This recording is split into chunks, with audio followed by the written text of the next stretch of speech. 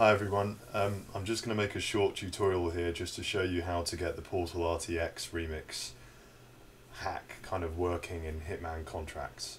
Um, it's really just a curiosity, don't expect to do much with it, but it gives you a little bit of a flavour of how this can start to kind of transform these games.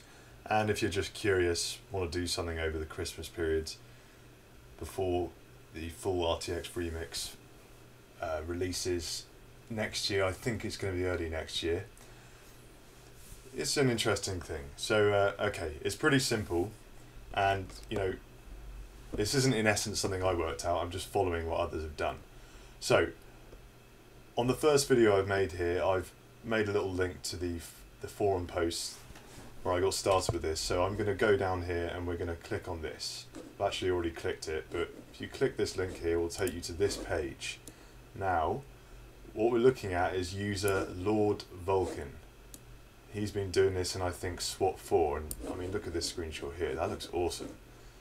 Um, I've never played SWAT 4 but that, that looks great already to me, I'm very surprised how good it looks there. So, if we go down to his post here, he's just saying just copy these files from Portal RTX to SWAT 4 and you can see there's an image here of what these files are. Now, I'm going to go to my Portal RTX folder. So what this means is you need to have Portal RTX already installed. So I've got that done through Steam. And if you look here, we're going to go through the file folders. So like Steam Apps, Common, which you're probably used to, Portal RTX, Bin. Now, you need to find the files that you can see in this screenshot here in this folder. And so I've already gone and done that and I've put them into I just I've just put them in here. Now, there's two extra things here. Just ignore them for now. The, the four files you need to get from this folder are these highlighted in blue. So one, two, three, four. They are from this folder here. Okay? So you can maybe do what I've done. I've dragged them into a separate folder here so I can just kind of have them on tap and drag them into any game I want to. Now, for Hitman Contracts, there is a little extra step because Hitman Contracts is not DirectX 9. And you can see in these files here, this, this says D3D9, and then it's this is a Vulkan conversion, so it's DXVK D3D9. So we need something else, and again, Lord Vulcan is helping us out here, and he's linking to this converter here, which converts DirectX 8 API calls to DirectX 9, which is what we want. So you can click on this thing here, takes you to this page, and at the top of the page here, what you want is this, d3d8.dll. Okay, so download that, and you can do what I've done again, and we can go back to this folder. Let's get rid of this screenshot thing, because we don't need that. And so now in this folder, as well as the four files we've got from the uh, Portal RTX folder, we've also got D3, D8 from here. Now this this goes with all of these, so you need all of these files, okay? It doesn't replace this D3, D9. You need all of these. So we've now got all the files we need for Hitman contracts. So all of these. So now, as you might guess, we go to the Hitman contracts folder where the main Hitman Contracts exe is. And all you're doing, once you've got these five files, is you're dragging them over to here, okay? Which you've probably done a lot of times before with other things. So now we've got everything we need. And so now I'm going to show you what it's like starting up. Because at first you might start up and think, oh, okay, what's going on here? Not really seeing much happening. But, so let's, let's just see what that looks like. I hope nothing goes wrong don't be deterred by the fact things might kind of pause a bit and it might not look like much is happening. But what you'll essentially see is you can see in the top left hand corner, welcome to NVIDIA RTX Remix. And so you'll know if you've done it right if that comes up. Now you, I'm kind of just seeing a blank, uh, a beige screen. Much is happening. You can see the bottom.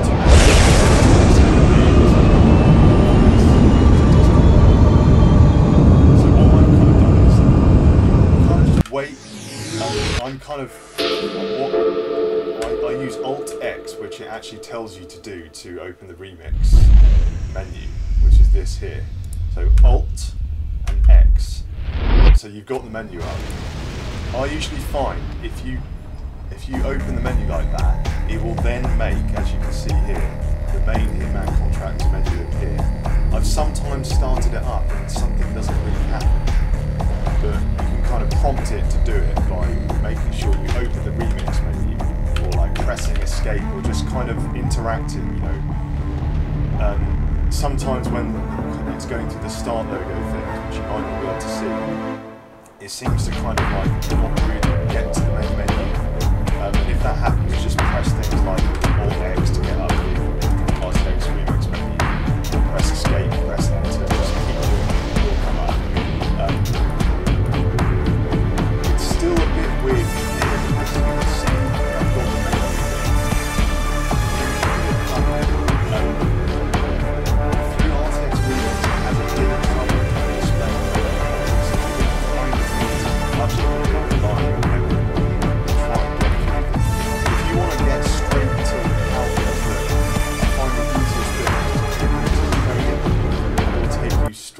a level with no more clicking through menus. So you just click training and you're in there. And from here you can just start to kind of, you know, look at things. It already looks pretty decent. I've done a couple of things to kind of make it look a bit better. So let's go into the menu. Now, it says DLSS 3, right? So you know to, to use this you need an RTX card, you need an RTX GPU of any sort. DLSS 3 is just talking about the very latest iteration, iteration of DLSS, which includes DLSS 2 and for the cards that support it, so 40 series DLSS 3, so with frame generation. But it, it encompasses DLSS 2 as well, so you've automatically got DLSS in this game. So right now it's running with DLSS, which is really awesome. These old, games all have DLSS now. Um, now I put it to custom because I, I just like to kind of tweak things myself. Um, it will start off on an auto level of DLSS. I don't actually know what resolution that is. I, I change its quality. You can do whatever you want here. Um, these are just things of your preference. You don't, you don't really need to have anything particularly set here. Uh, the interesting thing where you can start to play around with things, because these are just, you know, graphical settings. You've got light bounce here. Um, remember, all these things here you can change just like if you've done Portal RTX, um, you can start to change some of the settings here. If you've got a weaker card, you probably want to put light bounces down, and also you probably want to change what the internal resolution is rendering at, and that's going to be done through the super resolution mode here. It should be quite intuitive if you're already familiar with using DLSS. Now, but if we want to actually start changing the look of the game, what we want to do is we want to start going to developer settings. Now, my mouse, you can see it working properly on the uh, menu here. If your mouse is not coming up, and I don't think it will do, um, there is a notice about this, but what you need to do is press Alt and then Delete, and that will make your mouse cursor come up so you can properly interface. Before that, you probably won't be able to see your mouse cursor, and um, when you do things like this, you should click on Save Settings because it will, once you figure things out, you can save settings. When you open it back up, things will be to your liking already. So now I've got my mouse up, and I did that with Alt and Delete. So now we want to go into Developer Settings. Now this is where things get quite cool. Now if you want to just start, I, I would just recommend you just mess around with things here, okay? But um, look at the bottom here. You can save settings don't change things you don't know what they're doing, or if you want to experiment, just make sure you note what the default settings are. Remembering that this is all kind of specific to Portal, really, and some of the things are just not going to really do much for you. Like, for example, it says player model here, and I know in Portal, if you go into player model and you see this here, it says show in primary space, so that's your player model. And if you click that in Portal, it will show up your player character in a kind of weird way. It's a bit strange, but in here you can kind of see we've got Agent 47 only in one aspect. There's just the tie. So that kind of lets you know he's there. But I don't really know why, because I'm not a developer, I'm just a hobbyist. I the RTX Remix doesn't seem to be capturing hit Agent 47 or, or other NPCs. It, funnily enough, it, ca it captures aspects of them, like the things they're holding, the items. Like you can see guns here. Like you'll see floating guns for NPCs, and you'll see 47's physics activated tie. But I can't get him to show up. I really don't know why. But certain things you might look at and be like, oh, it says player model, show in primary space. That will show him up, right? It doesn't do anything. I have not been able to figure out how to get him to show up. If any of you can, please let me know. That would be really cool. But anyway, if you want to start playing around with lighting, we want to go off the rendering tab here, funnily enough. Although there are some aspects you can play around with to do with lighting here, but what you really want to look at is this tab, Game Setup. So, we're, we're going to talk about emissive surfaces here, right? This is how I'm understanding it if you go to sky textures, you're basically telling RTX Remix, okay, what what are the big like emissive textures in the environments? What are the things we're going to be saying these are going to be casting big illuminations on the environment? They're going to be like a big source of emissive light, and you you want to what you want to do is kind of think about well, what would be emissive? Like, let's imagine there's a sky surface. Now here it's a bit strange because we're inside, so there is no sky. Um, but if you just want to get a sense of how light can propagate, you can just start looking at things and going, okay, well, what happens if I make that emissive? Like, if I'm focusing on this texture here, it's like, hmm, okay, well, that looks like this pillar thing here, so let's click on that. And then suddenly, RTX Remix is like, well, this is the emissive texture. And you can see it's now full bright, and it's actually illuminating things around it. It's actually being treated as a reflection as well. And So just go around and kind of like, you know, this is all just for fun. So look what I'm doing here. You can see there's this white texture with, with a line outlining this kind of courtyard. I don't know what to call it. And if I'm clicking on that, it's now creating some illumination. So you can you can do other things like you can ask it to ignore textures. Just just read the titles here, like ignore textures. So if I ask it to ignore this texture, oh look, that's totally gone. Same with this thing here. And by kind of doing mixtures of asking it to illuminate certain things or ignoring certain textures, you can change the look, you can make things darker and brighter, and it can give you a sense of some of the materials you can play around with. You're not going to be able to do much more than that. I've not um, I've not actually explored everything here, but I've kind of found you're really quite limited in what you can do. Um, but it's still fun to just see how things interact you can make things look better. But um, I don't really know much more to say because again, I feel like if you get to this point, you're at the same level as me. You're just kind of experimenting with what's going on here, and it really at this point, just you should just experiment with it yourself. But my challenge to you guys is two things. If you can work out how to make Agent 47 and other NPCs appear, that would be cool. And also, there's another thing as I'm going around here, you can kind of notice the game reinterpreting where shadows are being cast from.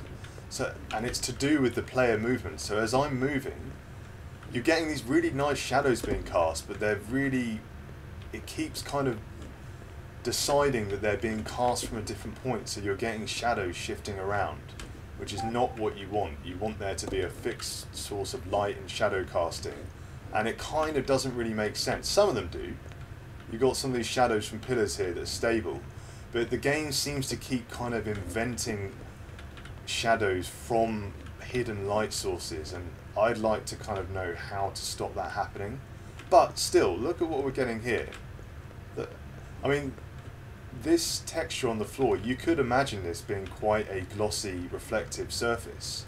Maybe you wouldn't want it to be this reflective, but I think that actually produces a really nice look. Imagine going into a space like this with a really kind of polished surface and you've actually got some really nice reflections coming from these big columns here. So um, just yeah, just you know, just mess around with it. again, you can open up the RTX Remix menu with Alt X. The juicy stuff is Developer Settings menu. And remember, you can get your mouse cursor to appear with Alt and Delete. And then I've gone into Game Setup here, and this is where you kind of define textures for kind of interacting with lighting. Now, some of you might have noticed you can see textures here for Agent 47, and that also is like that with some NPCs that appear. And I looked at them and thought, ah, maybe I could get the game to start kind of um, noticing these textures and I could get Agent 47 to appear. I really can't. It's RTX Remix seems to not be capturing the geometry of of the player character or NPCs. Uh, I'd really love to get that working, but yeah, no luck so far. But that's pretty much it, guys. Just you know, just have a mess around. It's pretty fun. Um, I'm going to be trying to do this with a few more games, and uh, personally, my aim is I, I, I actually first was wanting to do this with Hitman Blood Money. I I really wanted to kind of try and do some remastering some of the levels with that, but I think that will be tricky because Hitman Blood Money came out in 2006 and it was using um, programmable shaders. It was using pixel shaders, which right now RTX Remix is not designed to capture things like that. It's it's more difficult to do. The data structure for all of that is much more complex. So older games, things like DirectX 8 will work. Um, so I'm actually now going to start myself, once RTX Remix releases, I'm going to start trying to kind of um, level by level, going through it, learning it, and seeing if I can actually produce some nice results once you've got things like the AI upscaling, being able to define the surface properties of materials, and actually placing lights that's when you really have the control of things. But um, this gives you a little taste. This was meant to be a really short tutorial, but I've never really done stuff like this before, so it turned into a bit of a ramble, but hopefully this will help people out. Uh, anyway, thank you for watching, and have fun with it.